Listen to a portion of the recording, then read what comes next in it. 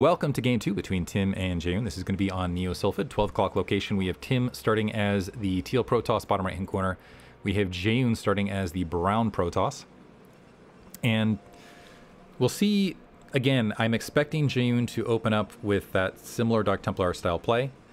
I am curious if Tim is going to adjust this time and maybe go for something like three gate or maybe uh, one gate robo into three gate, something like that basically, uh, I feel like you can hard counter if you know that it's coming. And so this might be a challenging match.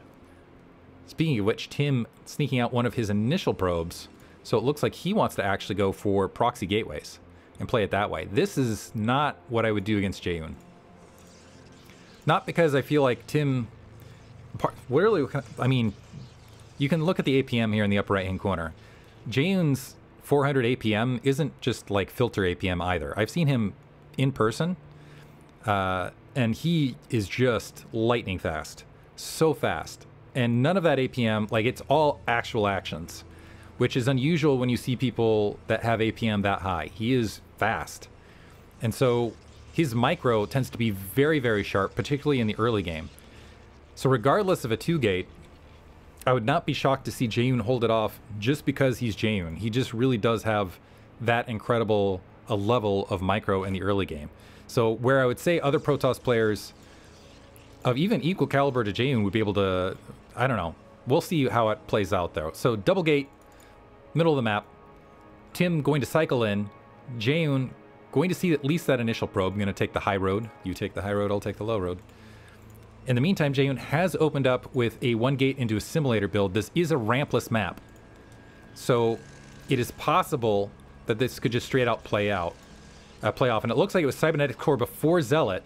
So Tim actually might have some solid shot at this. He's also, keep in mind, scouted Jaeyoon's base right off the bat. Jaeyoon, however, as soon as he micros in, micros in, as soon as he moves in, is going to see immediately a lack of tech, which means he knows he's being proxied. So first zealot produced. The other thing he's got to watch for is making sure he doesn't get Manner Pylon.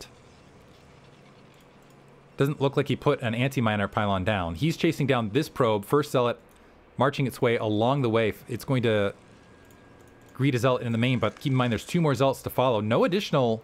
So Jaeyoon's just going to try to play this with one gate. Now dropping that second gateway, but that feels so late. Probe joining the fray.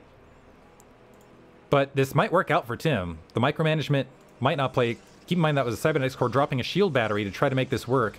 Proxy pylon for Tim to maybe drop his own shield battery. Jaeyoon's probe taken out in that exchange. So now it is one zealot versus soon to be three. Third is trailing momentarily. Jaeyoon retreating to his probe line.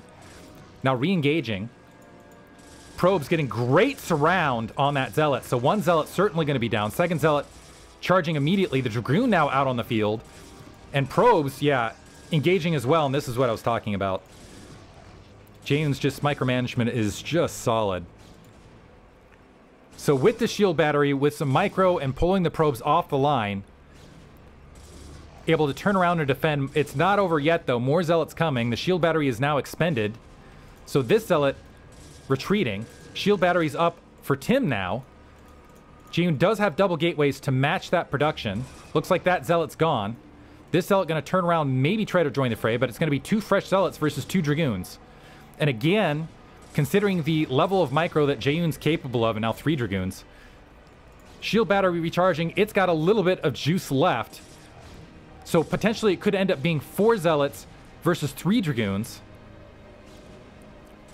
Third one now joining. However, there's going to be more shield battery juice on Jaeyoon's side as well.